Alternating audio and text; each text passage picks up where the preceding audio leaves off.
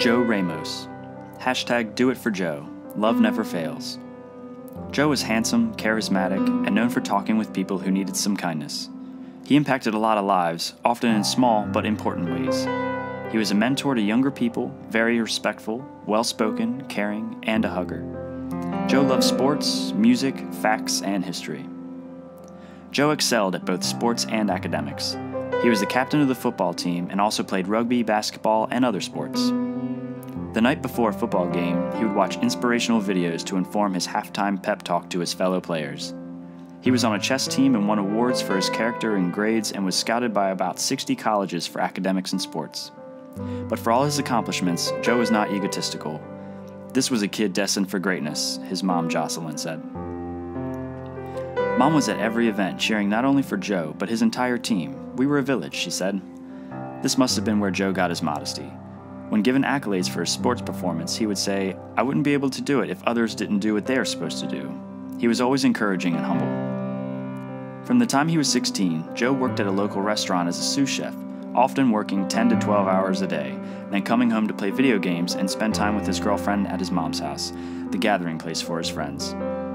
The employees at the restaurant spanned all ages, and he could relate with all of them. Some of the older ones were wowed with his knowledge of their music from the 70s. Joe never let anyone leave work hungry, always offering to cook for them when their shift ended, and he also volunteered for Meals on Wheels. Joe's head coach said it devastated the entire town to learn of his death. His mother describes Joe's celebration of life service as tragically beautiful. His high school friends flew in from Florida or drove from New York.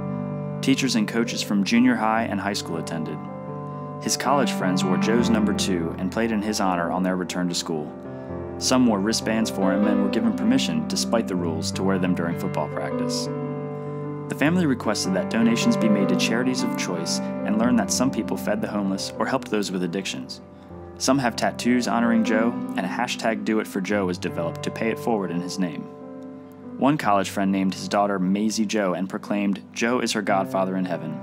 In 22 years, Joe accomplished what people 99 haven't, his mom stated. On the first anniversary of Joe's death, his mother helped organize an event and subsequent organization called Break the Silence to bring attention to mental illness and substance use disorder. Knowing that these diseases only get worse when hidden, they wanted to address the shame and stigma that often prevent people from getting help.